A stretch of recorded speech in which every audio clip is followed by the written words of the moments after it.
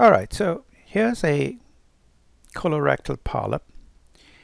Back here is the muscularis propria, right? The external and the internal layer. Here's the mucosa.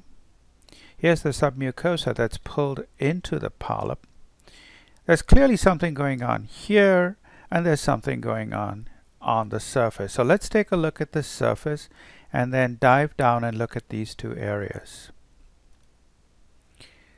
Alright, so let's look at the surface. And in fact, let's look at the surface where you actually see the junction of normal mucosa with abnormal mucosa. And just to reiterate for people who are fairly recent to pathology, perhaps the best way to make a diagnosis of a tubular adenoma is to compare the adenoma with what you think is normal. And notice that these cells are tall, they're dark, and they are hyperchromatic, while these cells are normal cells. Back here, these are completely normal colonic crypt cells, and this is not adenoma. So there's no question this is adenoma.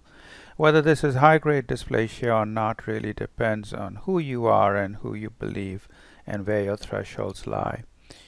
Right, so then there's something interesting going on here, right? So there is clearly what looks like adenoma-like tissue that is getting into the submucosa. And how do I know that? What I'm looking for is the presence of large submucosal vessels. Large submucosal vessels such as these you will not see in the mucosa. So this is submucosa. When I look at the epithelium itself, it looks very much like the adenoma looked, right? Uh, there's no different from the adenoma. And perhaps, and I'm not absolutely sure, but it does look that the stroma is very much like that I see in the lamina propria, like here. So to summarize this, this area looks like adenomatous epithelium. This looks like lamina propria. So if we back out now, the other way, this stuff going down here into the submucosa is perhaps misplaced epithelium. But there's something else that's interesting that's going on. There are pools of mucin. Now remember, pools of mucin in and of themselves does not make this an invasive carcinoma.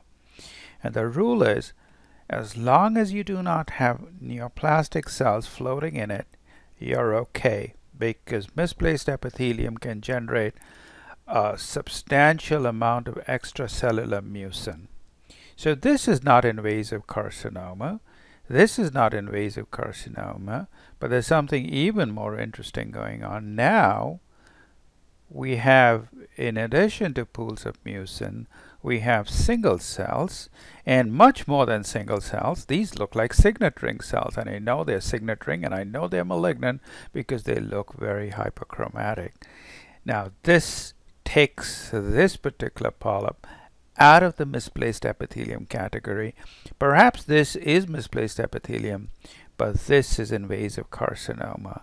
So this is a colonic polyp with possibly misplaced epithelium down here, at least I'm convinced this is misplaced epithelium, pools of extravasated mucin, and a poorly differentiated adenocarcinoma.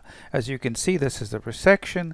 It is appropriate to resect these because as if the tumor is poorly differentiated, the chances of having lymph node metastases are high, and in fact this particular patient did have lymph node metastasis. Thanks for listening.